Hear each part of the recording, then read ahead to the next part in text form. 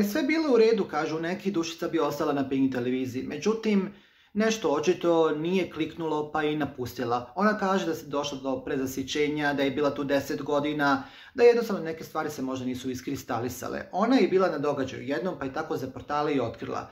Najviše će mi nedostajati ljudi koji ne vidite, bez kojih televizije ne bi bilo. Voljela bih da ostanemo u korektnim odnosima. Čula sam sada se neke kolege oglašavaju bespotrebno. Nisam se ni sa kim posvađala, ali jesam se nekima zahladila odnose.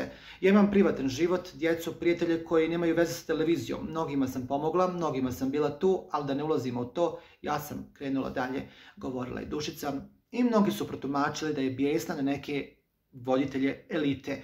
Sad šta je tu bilo, to samo isključivo dušica zna, ali nadam se da je pronašla sreću u nečemu što je htjela, što je željela ovaj, i da će tu biti apsolutno dobro. Dušica Jakovljević bila je na Pink televiziji 10 godina i pokazala se sjajno. Šta je razlog njenog odlaska, to isključivo zna Dušica, a ona ne želi baš mnogo da priča o tome.